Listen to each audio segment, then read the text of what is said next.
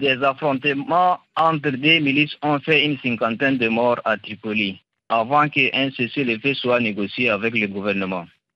Depuis le début de l'année, Tripoli avait connu moins des affrontements entre les milices.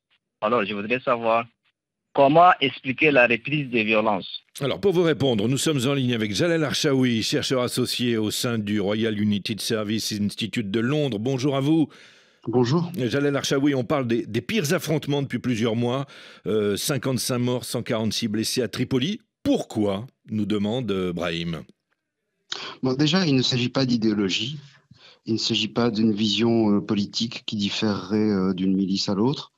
Il s'agit réellement des conséquences qu'on est obligé d'affronter quand notre le secteur sécuritaire, si vous voulez, repose entièrement sur des groupes armés et non pas euh, des institutions euh, formelles euh, traditionnelles comme on mmh pourrait en trouver au Canada ou au Danemark. Mmh Donc là, il s'agit de, vraiment comprendre la source de, l'effet de levier et de pouvoir de telle ou telle milice.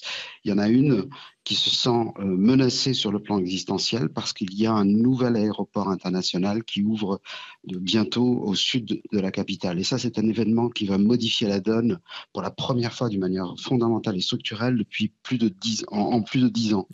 Donc, ça veut dire que certaines milices se sentent beaucoup plus puissante euh, qu'il y a 2-3 ans et d'autres se sentent menacées.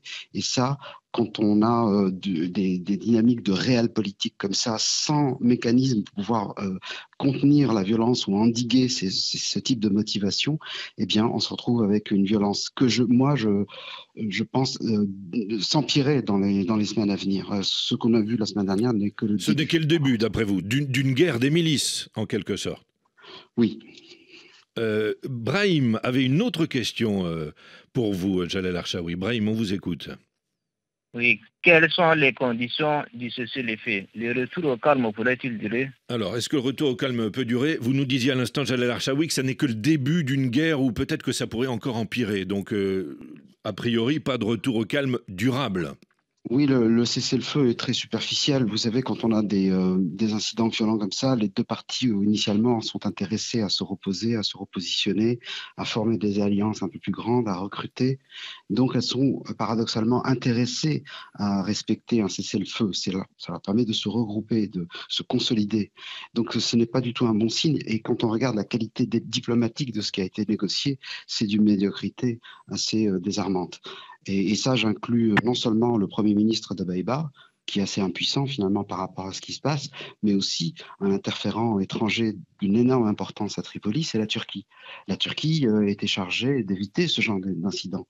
Aujourd'hui, on sent qu'elle est euh, beaucoup plus euh, partiale par rapport à un acteur vis-à-vis de l'autre, ce qui est une catastrophe parce que le rôle de la Turquie était d'être neutre et d'éviter la violence. Bon, un accord faible, des incidents appelés à se répéter. Brahim, qui est toujours avec nous, nous dit aussi que les milices sont devenues encore plus puissantes. Est-ce que les élections préconisées par l'ONU cette année pourront avoir lieu?